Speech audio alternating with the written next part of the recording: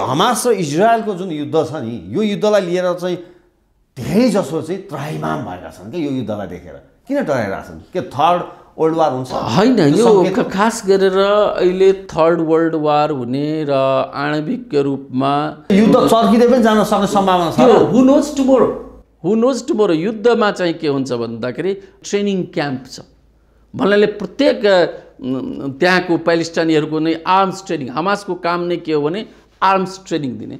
Israel चाहेको भए त गाजाले जे पनि गर्न सक्थ्यो। इजरायल इजरायलले भने गाजालाई समा- विश्व भूगोलबाट पनि उसँग। क्षमता। अमेरिकाले इजरायल जस्तो शक्तिशाली देशलाई सहयोग गर्नुपर्ने आवश्यक छ त। एउटा एउटा एउटा चाहिँ के एउटा चाहिँ के हुन्छ भन्दाखेरि अब तपाईँ धनी मान्छे हुनुहुन्छ। सिरिया यो- आइरहेछ। यो चाहिँ के छ भने तालिबानीहरू अफगानिस्तानबाट म तपाईँले के आइरहेछन् इरान त खुलेआम छ। यो आतङ्कवाद चाहिँ के हो भने जहाँ रोजगार छैन। त्यो छ, सप्लाई चाहिँ चिनबाट हुन्छ। युद्धको बिउहरू जताततै रोपी आज चाहिँ त्यही बिउहरू चाहिँ उम्रिएको छ। नेपालमा बसेर प्रेडिक्सन गर्नु चाहिँ के हो भने भोलि अन्त हुन्छ त्यसपछि नेपाली ल्याउँछु। त्यो होइन। यो मूर्खता हुन्छ। त्यो मूर्खता हुन्छ। प्रधानमन्त्री र परराष्ट्र मन्त्रीले त्यहाँ फँसेका नेपाली विद्यार्थी नेपालीहरूसँग टेलिफोनबाट कुराकानी त्यो त्यो शब्दको राहतले चाहिँ यथार्थीय समस्याको समा धरातलीय समस्यालाई समाधान गर्नको लागि कुटनीतिक संयन्त्रलाई या तपाईँ युएनओको मद्दत लिनुपर्छ। प्रधानमन्त्री परराष्ट्र मन्त्रीज्यूलाई तपाईँ के भन्न चाहनुहुन्छ? अहिले एउटा नागरिकको हैसियतले मैले तपाईँको माध्यमबाट चाहिँ के आग्रह गरेँ भन्दाखेरि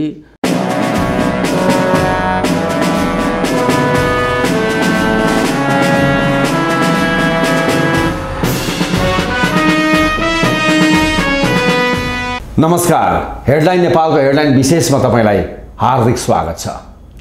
इजरायल यति बेला युद्धको चपेटामा फँसेको छ। हमासले इजरायलमाथि आक्रमण गरेको छ। विभिन्न देशका विभिन्न मुलुकका व्यक्तिहरू अहिले इजरायलमा आफ्नो देश आउन याचिका गरिरहेका छन्। अन्य मुलुकहरूले आफ्ना नागरिकलाई इजरायलबाट फटाफट ल्याइरहेको छ। तर हाम्रा मुलुकका प्रधानमन्त्री परराष्ट्र मन्त्री र हाम्रा मुलुकका संयन्त्रका व्यक्तिहरू सम्बन्धित निकायका व्यक्तिहरू भने संवाद गरिरहेका छन् मिटिङ गरिरहेका छन् यो डिसिजन भयो भनिरहेका छन् यो खालको आग्रह गर्ने भनिरहेका छन् र त्यहाँ फँसेका नेपालीहरूलाई उनीहरूले तपाईँहरू संयमित भएर बस्नुहोस्। हाम्रो राजदूतसँग पनि कुरा भइसकेको छ। हामी तपाईँहरूलाई चाँडोभन्दा चाँडो हाम्रो मुलुकमा ल्याउनेछौँ। यस्ता आश्वासन मात्र दिइरहेका छन्। त दर्शकवृन्द यति बेला आश्वासनको क्रम जारी छ तर त्यहाँका नेपालीहरू जो अप्ठ्यारो स्थितिमा छन् उनीहरू भनिरहेका छन् हामीलाई केही पनि चाहिएको छैन। हामीलाई हे सरकार नेपाल फर्काइदेऊ। यो खालको याचिका गरिरहेका छन्। यो खालको परिस्थिति एकातिर छ भने अन्य मुलुकले चाहिँ आफ्ना मुलुकका नागरिकहरूलाई फटाफट उद्धार यो खालि बोलीमा मात्रै होइन उनीहरूले व्यवहारमा देखाइरहेका छन्। तर हाम्रो देश यति बेला हाम्रो देशको सरकार बोलीमा बोलिरहेको छ तर एक्सनमा गइसकेको अवस्था छैन। र अर्को पनि प्रसङ्ग छ आखिर इजरायलको अवस्था के छ? हमासले जसरी आक्रमण गर्यो अहिले सयौँ व्यक्तिहरू दुवैतर्फ मरेका खबरहरू आइरहेका छन्। नेपालीहरूले पनि त्यहाँ ज्यान गुमाइसकेका छन् केही घाइते भएका छन् केही सम्पर्कविहीन भएका छन्। र एक्ज्याक्ट डाटा दुवै पक्षबाट अहिले जसरी आइरहेको छ त्यो पूर्ण डाटा पनि रहेको छैन। त्यहाँ इन्टरनेटको समस्याहरू पनि देखिएको छ।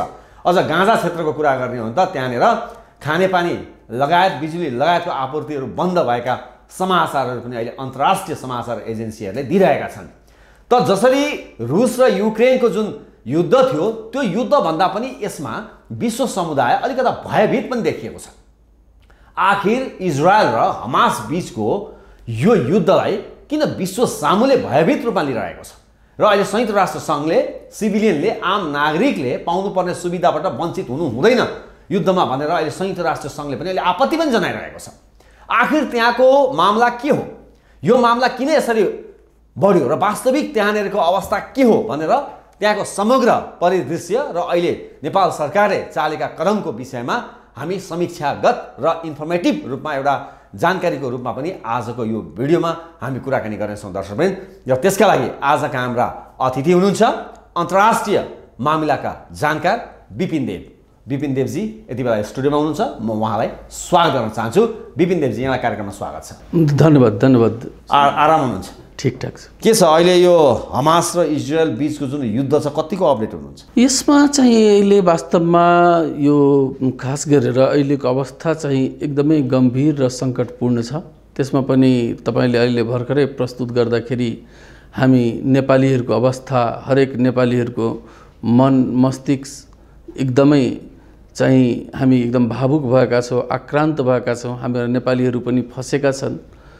यो अहिलेको समग्रमा यो हमास र इजरायलको यो जुन द्वन्द्व र युद्ध छ यसले चाहिँ एउटा भूमण्डलीकरण चाहिँ अहिले संसारमा कस्तो छ भन्दाखेरि कुनै पनि कुनामा संसारमा कुनै घटना भयो भने त्यसको पराकम्पन चाहिँ सबैले चाहिँ भोग्नुपर्छ। ए इजरायल र हमासको युद्धको असर नेपालमा पनि पर्छ? अहिले हामी असर हेरिरहेको छौँ कि हाम्रो नेपाली दाजुभाइहरू त्यहाँ फँसेका छन् जुन हामी मर्माहत यो पनि असरै हो। यो पनि एउटा भूमण्डलीको असर छ र यसको अरू पनि आयामहरू छन्।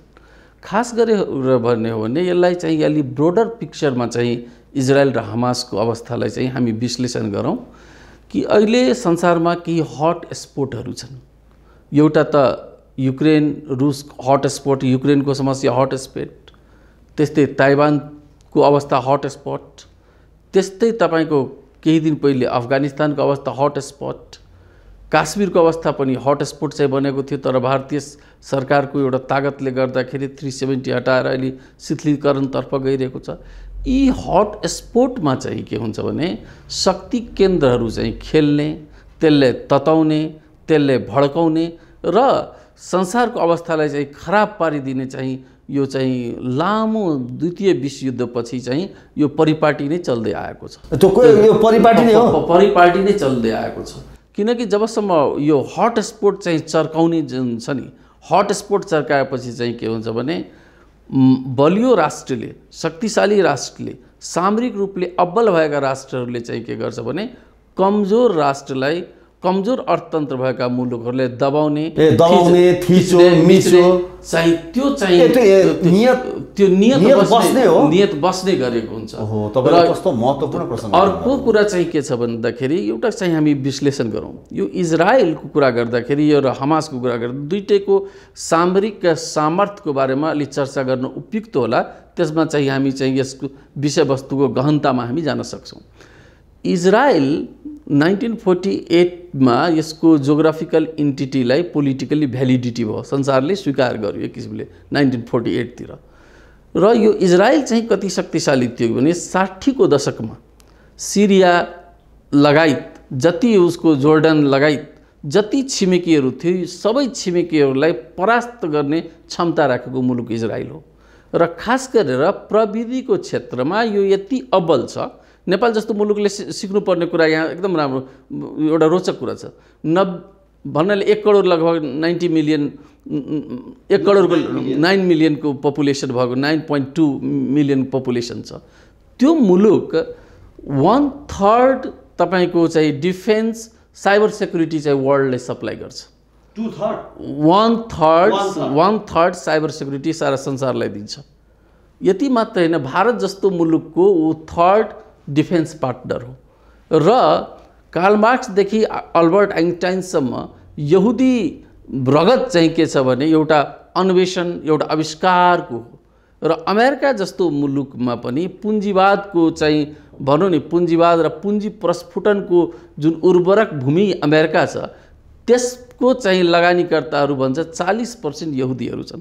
भन्नाले इजरायल चाहिँ के छ भने सामरिक रूपमा एकदमै अब्बल मुलुक छ। जबकि उसँग चाहिँ नेचुरल रिसोर्सेस छैन। नलेज इकोनोमी भन्नाले अहिलेको अवस्थामा कुनै पनि राष्ट्रलाई अगाडि बढ्नको लागि खनिज पदार्थ चाहिँदैन इन्धन चाहिँदैन भूगोल चाहिँदैन इतिहास चाहिँदैन। भन्नाले सबभन्दा मेन कुरा के हो भने सिप हो क्षमता हो। Economy. नलेज इकोनोमीको एउटा इक्जाम्पल इजरायल हो। जस्तो कि अब भनौँ नि एसियामा नै पर क्यापिटल इन्कमको हिसाबले हेर्ने हो भने फर्स्ट सिङ्गापुर सेकेन्ड कतार र थर्ड चाहिँ इजरायल हुन आउँछ। भन्नाले इजरायलको अवस्था चाहिँ इजरायल एकदमै अब्बल मुलुक हो। एकातर्फ अर्कोतर्फ के छ भने इजरायलको आगमनदेखि नै विश्व मानचित्रमा र अन्तर्राष्ट्रिय कुटनीतिमा इजरायलको प्रवेश र इजरायलको उपस्थितिले नै के गर्छ भने खास गरेर गल्फका कन्ट्रीहरू इरान लगायत अरू मुलुकहरूलाई के छ भने इजरायलको अस्तित्व उनीहरूको राष्ट्रवाद हाम्रो चाहिँ इस्लामिक फन्ड राष्ट्रवादमा चाहिँ उसलाई चाहिँ च्यालेन्ज महसुस हुन्छ। इजरायल इज अ थ्रेट भनेर उनीहरू महसुस गर्छ। त्यसकारण इजरायललाई चाहिँ भूगोलबाट नै निम्ट्याउनु पर्छ भनेर चाहिँ ठुलो समय लामो समयदेखि चाहिँ मुस्लिम राष्ट्रहरूको रणनीति रहेको छ। अर्कोतर्फ इजरायलसँग युरोप र अमेरिकाको जहिले पनि सामरिक आर्थिक सहयोग रहेको हुन्छ। त्यसकारण यो हमास र इजरायलको बि जुन टक्कर छ त्यो चाहिँ के छ भने शक्तिको ध्रुवीकरण खास गरी अमेरिका युरोप लगायत प्रजातान्त्रिक कित्तामा भएका मुलुकहरू चाहिँ इजरायलको साथ उभिएको छ।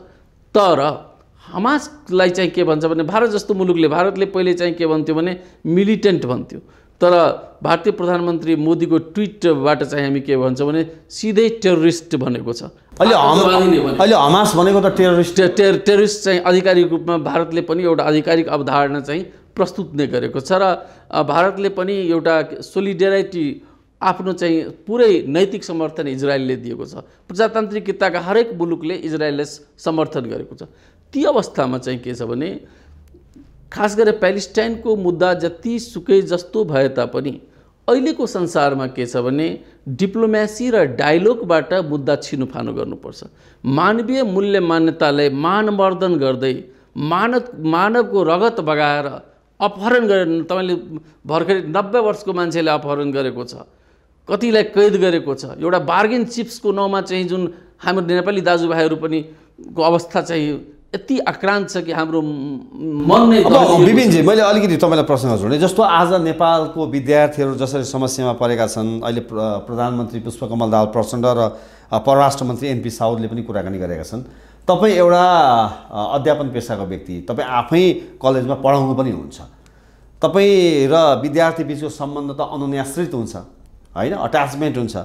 आज तपाईँ एज अ एउटा टिचर भनौँ प्रोफेसर भनौँ यो जसरी इजरायलमा विद्यार्थीहरू जुन ढङ्गबाट अहिले फँसेका छन् ज्यान जसरी गुमाएका छन् यो हेर्दा तपाईँलाई व्यक्तिगत रूपमा कस्तो महसुस भइरहेछ?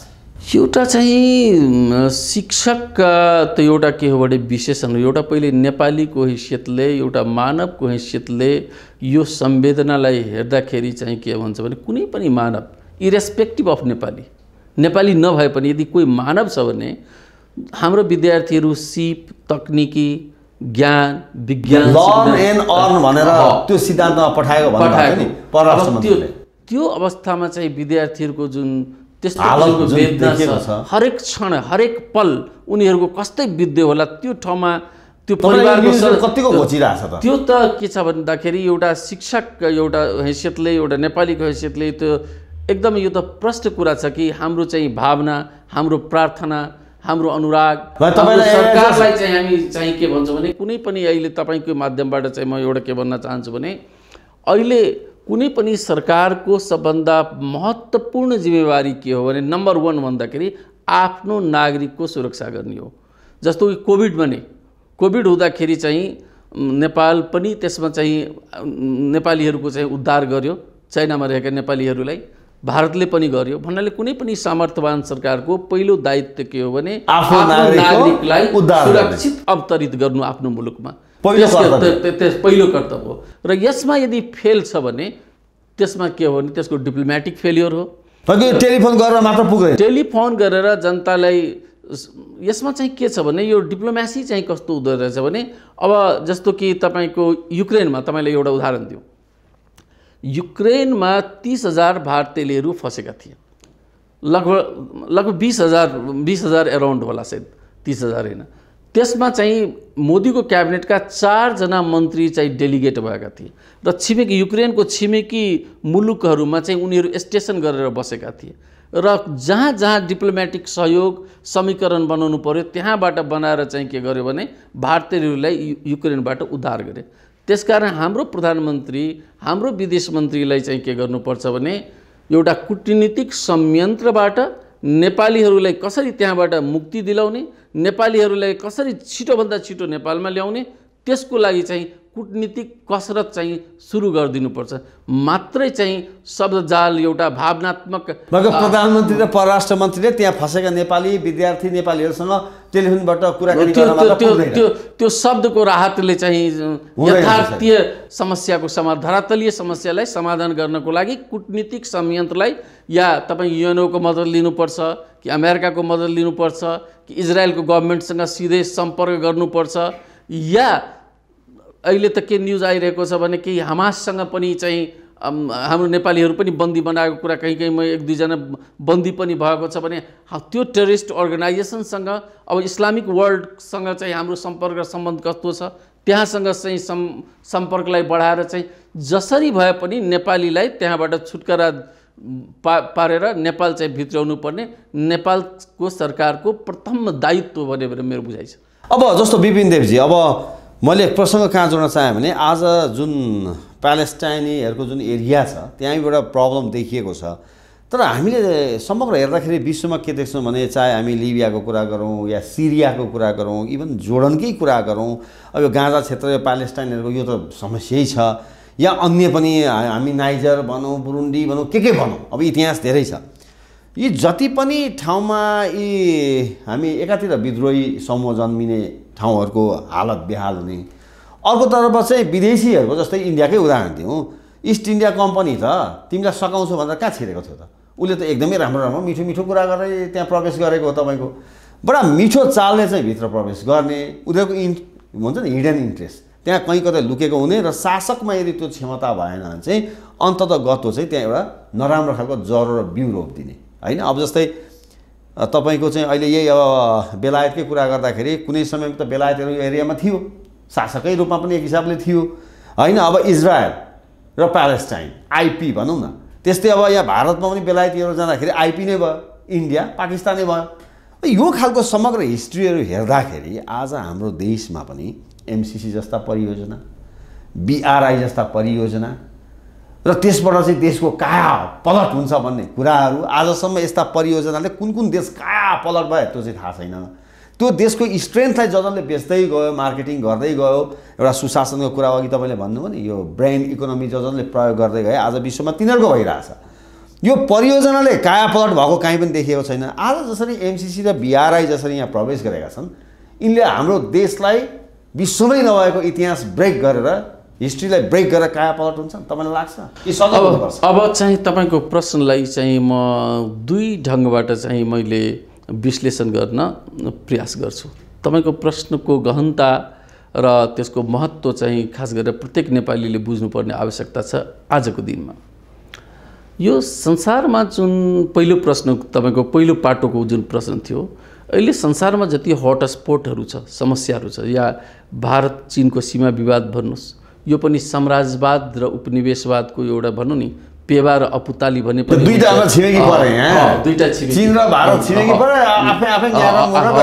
त्यो पनि साम्राज्यवादको नै एउटा देन हो। सीमा समस्या त्यतिखेर नै समाधान भइदिएको भए दुईवटा छिमेकीले एउटा यस्तो विशाल मुलुकहरूले भिड्ने लड्ने वातावरण बन्ने थिएन। त्यस्तै प्यालेस्टाइनको समस्या र इजरायलको समस्या पनि तपाईँको चाहिँ साम्राज्यवाद र उपनिवेशवादको नै पेवा हो। अपुताली भने पनि हुन्छ त्यसलाई। भन्नाले अफगानिस्तानको पनि केही हदसम्म त्यही हो। यो कुरा द्वितीय विश्व विश्वयुद्धपछि तपाईँको साम्राज्यवाद र उपनिवेशवादले चाहिँ के गर्यो? वार त इन्ड भयो। तर के भन्छ भने विश्लेषकहरू seeds of wars were sound युद्धको चाहिँ बिउहरू द्वितीय विश्वयुद्धले के गर्यो भने युद्धको बिउहरू जताततै छरियो रोपिदियो। आज चाहिँ त्यही बिउहरू चाहिँ उम्रिएको छ। र त्यो। त्यसको चाहिँ दुष्प्रभावबाट चाहिँ हामी भोगिरहेको छौँ। एउटा तपाईँको प्रश्नको यो एउटा पार्ट हो सेकेन्ड पार्ट जो कि प्रत्येक नेपालीले बुझ्नुपर्ने मनन गर्नुपर्ने पक्ष हो कि बिआरआई र एमसिसी। दुईवटा चाहिँ के छ भने भीमकाई गुरु योजनाहरू मेगा प्रोजेक्टहरू नेपालीको सामने छ। हाम्रो सरकारको अवस्था के छ भने डगमग गरिरहेको छ। कहिले यहाँ कहिले त्यहाँ। आजको अभिव्यक्ति यता पढ्नुहोस्। भोलि चाहिँ त्यहाँ चाहिँ हुन्छ।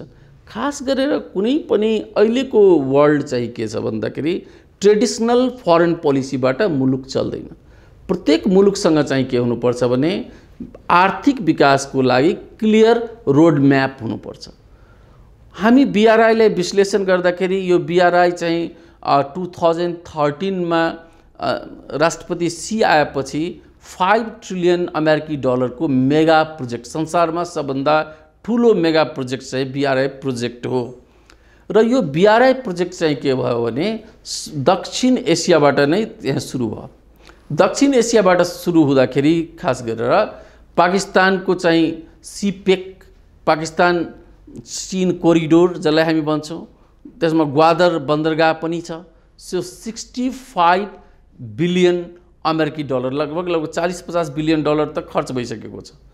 त्यस्तै श्रीलङ्काको हम्बन टोटा या तपाईँ अफ्रिकन युनियनमा जानुहुन्छ भने जिम्बावे भन्नाले यत्र तत्र सर्वत्र चाहिँ के भयो भने बिआरआई प्रोजेक्ट फैलियो। र चिनले चाहिँ पूर्वाधार विकासको लागि संसारलाई ठुलो सपना बाँडे। तर यसको चाहिँ आउटपुट के भयो भने यसको चाहिँ काउन्टर प्रोडक्टिभ इम्प्याक्ट नकारात्मक प्रभाव के भयो भने श्रीलङ्कामा चाहिँ नेताहरूलाई पिट्न लागे जनताहरू। त्यो त इन्भेस्टमेन्टबाट के त? लुङ्गीसम्म खोलेको तपाईँले पढ्नुभयो होला भिडियो नि। आयो मिडियामा आयो, सबै लास्टमा। इन्डियाले रेस्क्यु नगरेको भए सायद श्रीलङ्का लाइनमा आउने थिएन लगभग लगभग फोर बिलियन अमेरिकी डलर चाहिँ भारतले तत्काल नै सहयोग गरेर फेरि ग्यारेन्टरमा भारत चाहिँ भारत र जापान ग्यारेन्टर बसेर इन्टरनेसनल मोनेटरल फन्ड अन्तर्राष्ट्रिय मुद्रा कोषबाट चाहिँ श्रीलङ्कालाई राहत दियो अब श्रीलङ्का सायद राहतको सास लिँदै बाटोमा छ। पाकिस्तानमा चाहिँ प्याजको भाउ पाँच सय रुपियाँ किलो छ। इन्फ्लेसन रेट एकदमै हाई छ। इकोनोमी चाहिँ एकदम सङ्घारमा छ दिवालियापनको सङ्घारमा छ। भनाइको मतलब के हो भन्दाखेरि चिनको उच्च ब्याज दर र चिनिया लगानी जहाँ हुन्छ त्यहाँ चिनिया प्रविधि मात्रै होइन त्यहाँको जनशक्तिको पनि उपस्थिति हुन्छ। र यदि सम्बन्धित राष्ट्रले यदि ऋण तिर्न सक्दैन भने हम्बन टोटालाई जसरी नाइन्टी नाइन इयर्सको लागि चिनले चाहिँ के गर्यो भन्दाखेरि आफ्नो नियन्त्रण अधीनमा लियो। हरेक प्रोजेक्टलाई चाहिँ त्यस्तै गर्ने चाहिँ त्यो नियममा नै उल्लेख भएको हुन्छ अब जस्तो भनौँ न पोखरा विमानस्थल हाम्रै देशको पनि जोडौँ अब न त्यसको ब्याज? तिर्न चाहिँ हामीले ब्याजसम्म। छोडो हामीले अहिले ऋणको चाहिँ अनि फेरि फेरि चिनले भन्दैछ यो बिआरआई एकदम प्रष्ट रूपमा चिनिया अधिकारीहरूले चाहिँ। र नेपाल सरकारले चाहिँ यो बिआरए यो अर्को इन्ट्रेस्ट हो भनेर यो बकम फुसे चाहिँ गफ दिएको छ वास्तवमा भन्ने हो भने चिनको अहिलेसम्म हामी बचेको छौँ हामी जोगेको छौँ अहिले। अब यस्तो अवस्थामा नेपालको चाहिँ रोड म्याप के हो? नेपालसँग जत जसले जति गफ गरे पनि हामीलाई सबभन्दा आर्थिक विकासको गोरेटोमा लग्ने चाहिँ हाम्रो हाइड्रो नै हो। हाइड्रोको लागि चाहिँ हाम्रो सबभन्दा आवश्यकता के छ भने ट्रान्समिसन लाइन। ट्रान्समिसन लाइन चाहिँ क्लियर भयो भने दस हजार मेगावाट चाहिँ भारतले नै किन्ने चाहिँ हामीले वचनबद्धता दिइसकेको छ। र बङ्गलादेश रेडी छ। साउथ एसियामा सग हरेक ठाउँमा ऊर्जा क्राइसिस छ। भन्नाले नेपालको आर्थिक काया पलट गर्नको लागि हाइड्रो हो। र हाइड्रोमा निवेश गर्ने चाहिँ हाम्रो आन्तरिक पुँजी पनि छ बाहिर पुँजी पनि छ दात्री संस्थाहरूको पनि लगभग लगभग एक अध्ययन अनुसार फाइभ ट्रिलियन अहिले नै लगभग लगभग नेपाली रुपियाँ चाहिँ यसमा चाहिँ लगानी भइसकेको छ। इन्भेस्टमेन्ट भइसक्यो। इन्भेस्टमेन्ट भइसकेको छ। यदि हामी एमसिसीलाई एमसिसी आएपछि अमेरिकी सैनिक आउँछ यो आउँछ। यस्ता किसिमको चाहिँ भाष्य पहिले पनि निर्माण भएको थियो। अब चाहिँ संसारमा चाहिँ के छ भन्दाखेरि के देखिएको छ भने बिआरआई तर एमसिसीलाई टेकेर एकछिन जस्तो एमसिसीलाई टेकेर भोलि अमेरिकाले चाहिँ चाइनालाई निहाल्न खोजाउने के गर्ने फेरि? यो यो धेरैले के भनेका छन् समीक्षकहरूले यो एमसिसीलाई टेक टेकेर चाहिँ अमेरिकाले चाहिँ भोलि चाइनालाई निहाल्छ सबभन्दा उपयुक्त र नजिकको ठाउँ भनेका छन्। त्यो खालको स्थितिमा हामी पनि द्वन्द्वमा फस्दैनौँ।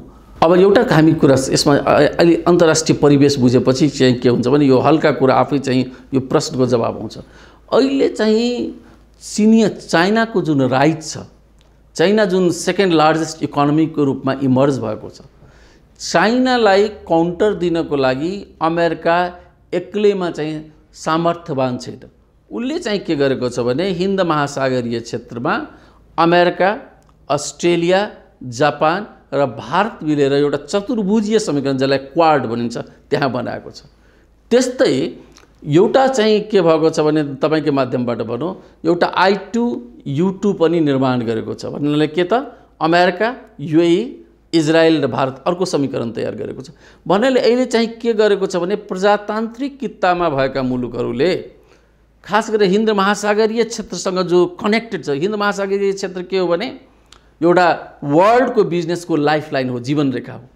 अब हामी ने यो एमसिसी प्रोजेक्टको वकालत मैले गरेको होइन।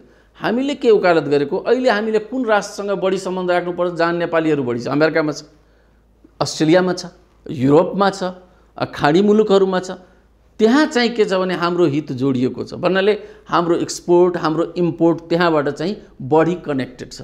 त्यस कारण यदि हामी प्रजातान्त्रिक किताबमा चाहिँ अहिलेको वर्ल्ड पोलिटिक्स के छ भने यो ट्रेडिसनल हामी सन्तुलित भारतलाई पनि पुलपुलाउने चिनलाई पनि फकाउने गरेर अब चाहिँ मुलुक अगाडि जाँदैन। अहिले पुँजी निवेशको जमाना छ। पुँजी तपाईँले कहाँबाट प्राप्त हुन्छ? कहाँ चाहिँ तपाईँ बिजुली बेच्न सक्नुहुन्छ?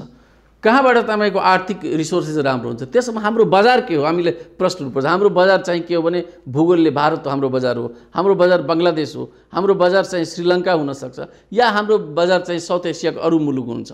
अहिले चाहिँ के भएको छ भने खास गरेर बङ्गालको आसियानसँग पनि कनेक्टिभिटी चाहिँ बढिरहेको छ। दक्षिण एसिया र आसियानको। आसियान भनेको एउटा एकदम इमर्जिङ इकोनोमी हो। थाइल्यान्ड इन्डोनेसिया सिङ्गापुर यी मुलुकहरू जुन छ दसवटा आसियानको इमर्ज भइरहेको छ त्यसलाई चाहिँ धार्मिक हिसाबले सांस्कृतिक हिसाबले पर्यटन हिसाबले नेपाललाई कसरी कनेक्ट गर्ने? नेपालको इकोनोमीलाई कस्तो ग्रो ग्रो गर्ने? त्यसकारण अहिले हामीले तराजुमा एउटा बिआरआईलाई राखेर यसको चाहिँ असरहरू के के छ? तपाईँले तुलनात्मक रूपमा कुरा गर्नुभयो बिआरआई र एमसिसीलाई तुलना गर्दाखेरि चाहिँ कुन चाहिँ बेटर भन्दाखेरि चाहिँ बिआरआई भन्दा चाहिँ एमसिसी बेटर भन्ने कुरा गर्नुभयो।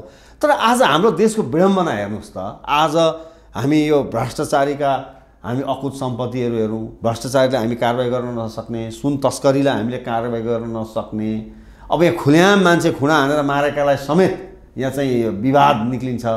होइन यस्ता आपराधिक कर्मबाट अकुत सम्पत्ति कमाएकाहरूलाई हामीले कारवाही गर्न नसक्ने। यिनीहरूलाई मात्रै का कारवाही गर भने अरब त होइन यहाँ। अरबौँ खरब पैसा छ। अनि आफैसँग भएका पैसा चाहिँ सुशासन र दण्डहीनता अन्त्य गरेर सुशासन कायम गर्ने दण्डहीनता अन्त्य गरेर आफैसँग भएका यी कुकर्मबाट कमाएका आपराधिक क्रियाकलापबाट कमाएकाहरूको पैसा उठाउन हाम्रो सरकार नसक्ने।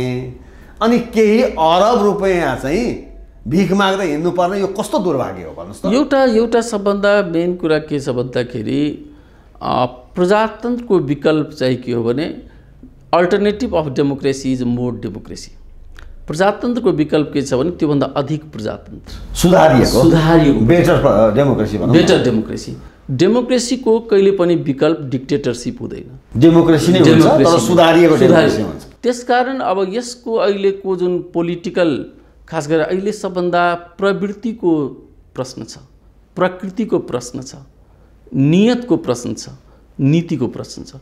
जबसम्म तपाईँले right man to the right post जबसम्म लिडरसिप क्यापेबल र कम्पिटेन्ट हुँदैन योग्य हुँदैन नैतिक रूपले अब्बल भएका मान्छेहरू जबसम्म राज्य संयन्त्रमा पुग्दैन तबसम्म यो पोलिटिकल यो करप्सन एउटा चाहिँ एउटा समाजवादी नेताले के जयप्रकाश नारायणले के भनेको छ भने political party is a fountain of corruption राजनीतिक दल नै के हो भने भ्रष्टाचारको फाउन्टेन हो झरना हो। त्यहीँबाट भ्रष्टाचार चाहिँ झरिरहन्छ। तर सेभेन्टिजतिर आउँदाखेरि त्यही जयप्रकाश नारायणले के गर्यो भने इन्दिरा गान्धीलाई परास्त गर्नको लागि सबै राजनीतिक दलहरूलाई एकीकृत गरेर इमर्जेन्सी विरुद्ध लडाइँ गरे भनाइको मतलब राजनीतिक दललाई जति गाली गरे पनि हामीसँग एउटा प्रश्नको जवाब के छ भने राजनीतिक दललाई शुद्धिकरण सुदृढीकरण सबलीकरण र सशक्तिकरण गर्दै राजनीतिक दललाई प्रोत्साहित गर्दै प्रोसेस्ड गर्दै चाहिँ हामीले बढाउनुपर्छ त्यसको प्रक्रिया। सही व्यक्ति सही व्यक्ति भन्नाले। सही व्यक्तिको लागि। सही व्यक्तिको लागि चाहिँ के हुन्छ भने जति ब्राइट मान्छे छ जति प्रमिसिङ मान्छे छ सबै चाहिँ अहिले के छ भने नेपाली युवाहरू बाहिरिएको छ जो के छ भने टायर्ड छ थाकेको छ अनटेस्टेड पिपुल छ जसको टेस्ट भएको छैन ती व्यक्तिहरूबाट चाहिँ के भएको छ भने राज्य सञ्चालन भएको छ।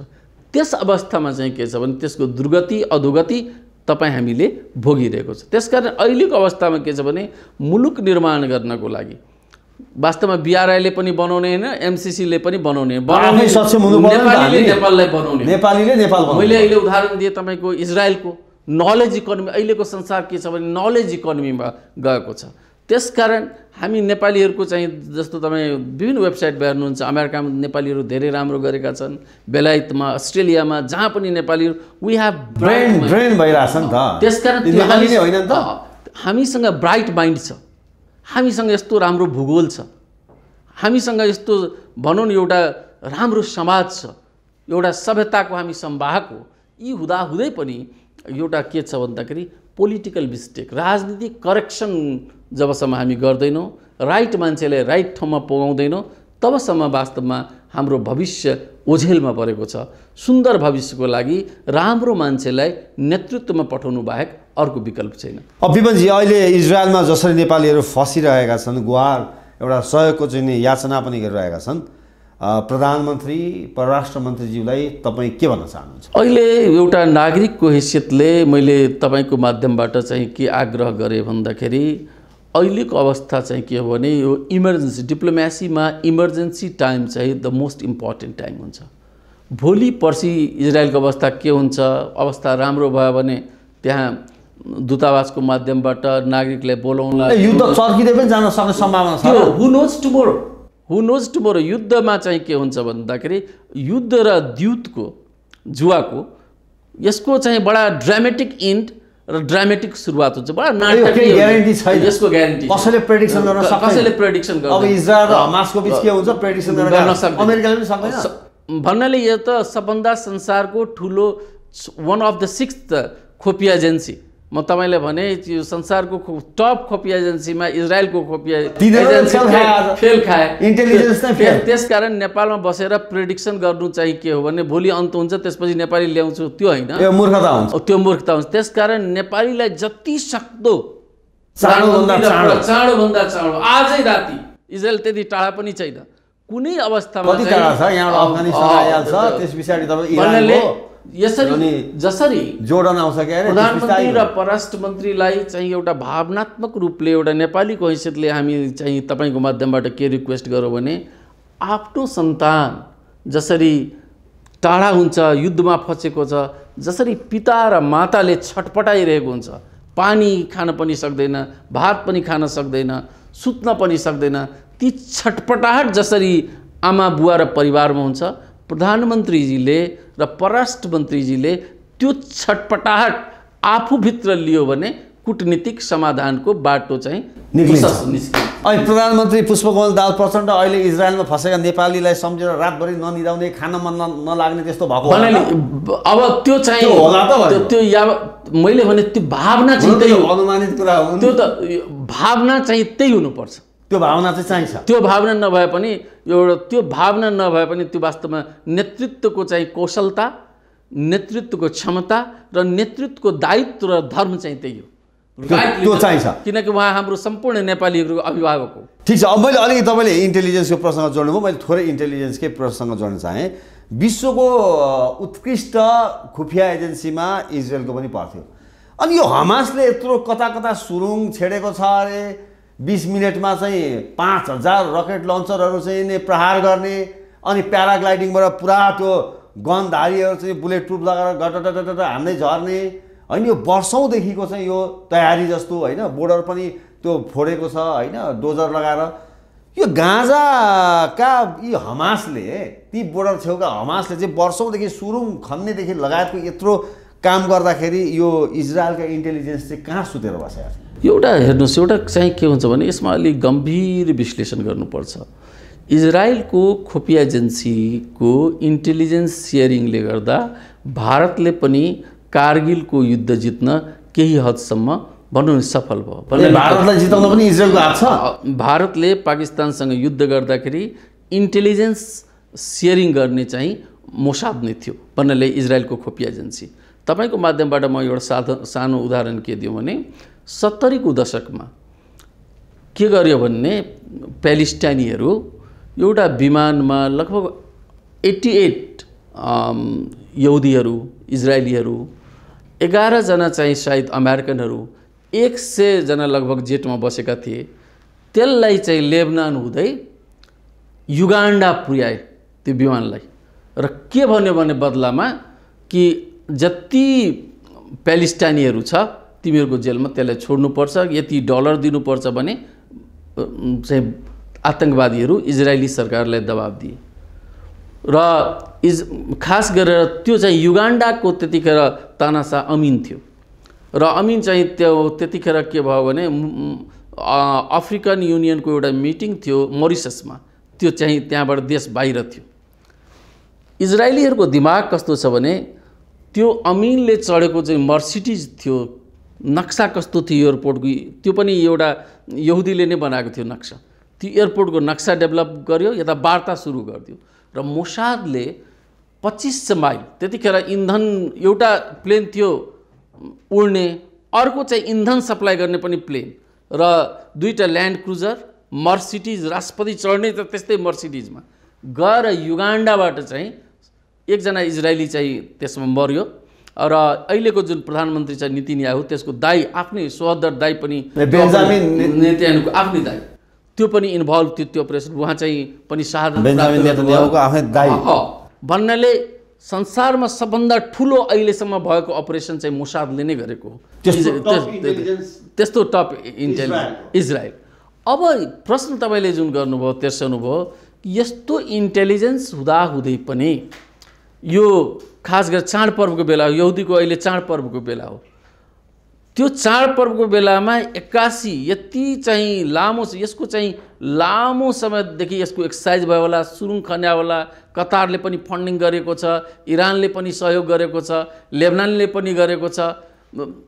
यो अवस्थामा यसरी जुन वातावरण निर्माण भयो यो मुसाद चाहिँ के गर्दै थियो भनेर एउटा प्रश्न गहन प्रश्न हो। खास गरेर के हुन्छ भन्दाखेरि म तपाईँले माध्यमबाट यो गाजा क्षेत्र जुन छ त्यो सानो छ। खास गरेर तपाईँ जस्तो जोग्राफीमा हेर्नु गोवाको गोवा जुन छ भारतको त्यसको दस गुणा कम छ त्यो क्षेत्रफलको हिसाबले। तर गोवाको जति पपुलेसन छ त्यसको दस गुणा पपुलेसन बढी छ। मैले भन्न के खोजिरहेको छु भने एकदमै highly dense populations poor unemployed त्यहाँ रोजगारी छैन। त्यहाँ के छ परीक्षण दिन्छ भने अल्लाह अकबर। जिहाद गर्नुपर्छ। कसको विरुद्ध? जो इस्लाम मान्दैन ती चाहिँ काफिर हुन् र काफिरको विरुद्ध चाहिँ हामीलाई जिहाद गर्नुपर्छ युद्ध गर्नुपर्छ भने गाजामा एउटा चाहिँ के छ भने ट्रेनिङ क्याम्प छ। भन्नाले प्रत्येक त्यहाँको प्यालेस्टाइनीहरूको नै आर्म्स ट्रेनिङ हमासको काम नै के हो भने आर्म्स ट्रेनिङ दिने।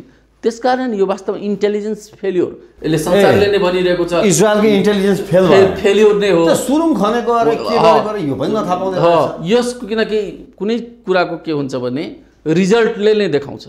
यो रिजल्ट चाहिँ एकदमै दर्दनाक छ।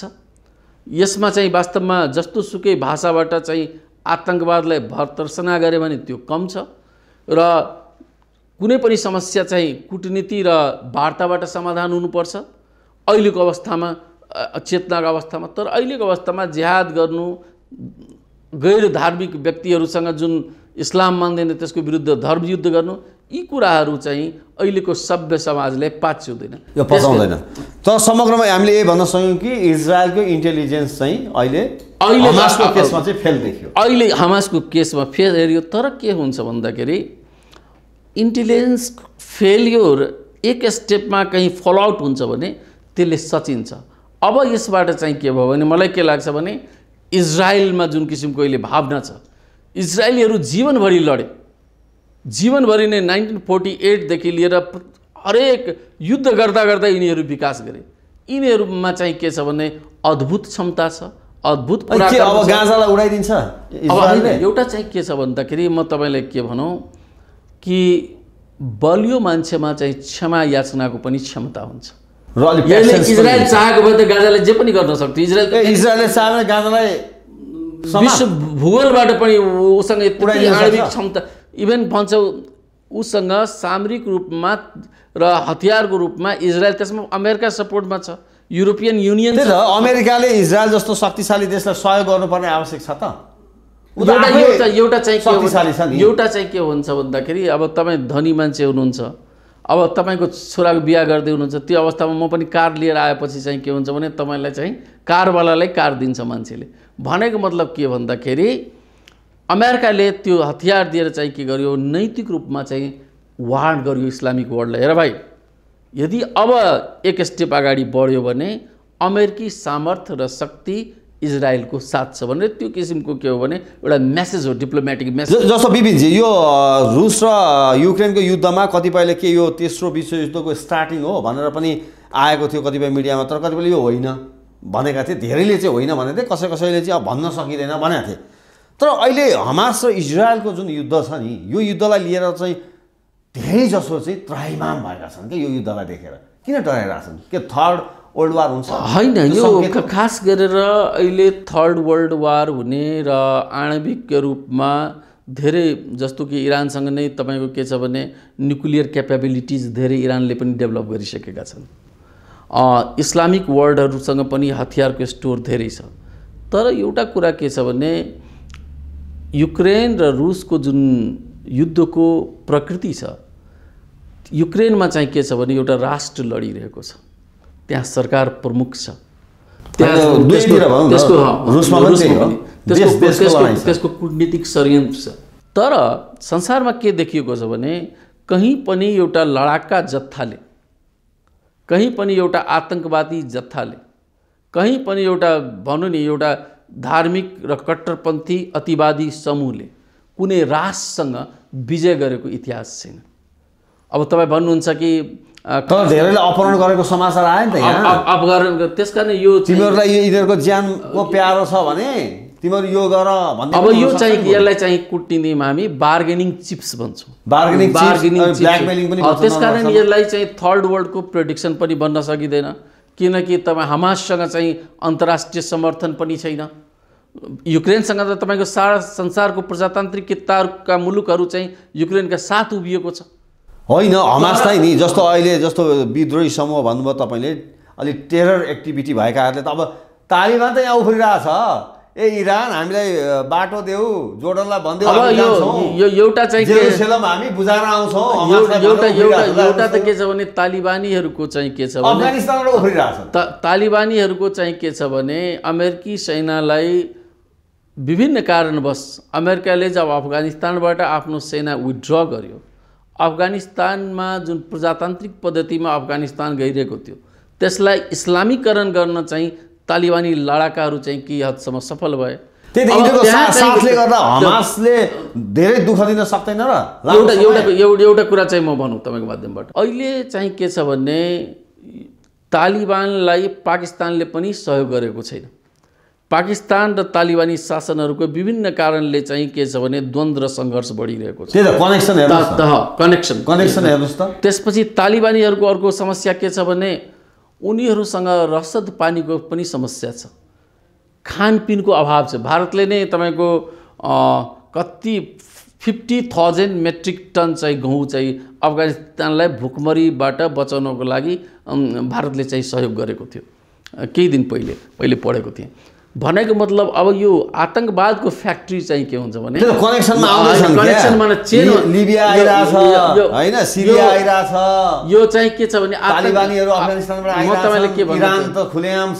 यो आतङ्कवाद चाहिँ के हो भने जहाँ रोजगार छैन उनीहरूको रोजगारी के हो भने बन्दुक चलाउनु। उनीहरूको राज रोजगारी के हो भने धार्मिक युद्ध त्यो चाहिँ यो कनेक्सन जुन छ त्यो कनेक्सन चाहिँ लङ टर्म चाहिँ टिक्न सक्दैन। किन भन्दाखेरि अहिलेको भूमण्डलीकरणमा प्रत्येक राष्ट्रको स्वार्थ अरू राष्ट्रसँग गाँसिएको छ। जस्तो कि तपाईँलाई म भनौँ यो तालिबानीहरू जुन फेटा लगाउँछ नि त्यो टोपी पन्जाबी जस्तो टोपी त्यो टोपी सप्लाई कहाँबाट हुन्छ भने चिनबाट हुन्छ। त्यो टोपी पनि आफू त्यो टोपी छ, त्यो सप्लाई चाहिँ चिनबाट हुन्छ। त्यो कपडा पनि लगाउने चाहिँ उनीहरूसँग त्यो क्षमता छैन। क्षमता छैन औकात छैन। त्यस कारण त्यस्ता आतङ्कवादी लडाकाहरू तपाईँको एउटा के हो भने धर्ममा चाहिँ के हुन्छ भने भावना हुन्छ उद्वेग हुन्छ संवेग हुन्छ। धर्मको नाउँमा मान्छे भावनात्मक रूपमा एकछिन जोडिन्छ। तर अर्थले के गर्छ भने निरन्तर त्यसलाई चाहिँ के गर्छ भने निरन्तरता दिन्छ। त्यसकारण अहिलेको भूमण्डलीकरणमा प्रत्येक राष्ट्रको चाहिँ सामरिक र आर्थिक हित अरू राष्ट्रसँग गाँसिएको अवस्थामा इजरायलको भूराजनीतिक अवस्था आर्थिक बनोट आर्थिक सामर्थ्य र सामरिक कसरतले गर्दाखेरि लामो समयसम्म आतङ्कवादी कित्तामा रहेका लडाकाहरूले लड्न सक्दैन भन्ने मेरो बुझाइ र विश्लेषण छ। हुन्छ विपिनजी तपाईँले अहिलेको यो समसामयिक विषयमा आफ्नो विचार राख्न राखिदिनु भयो समय दिनुभयो स्टुडियोमा आइदिनु भयो त्यसको लागि धन्यवाद नमस्कार। नमस्कार।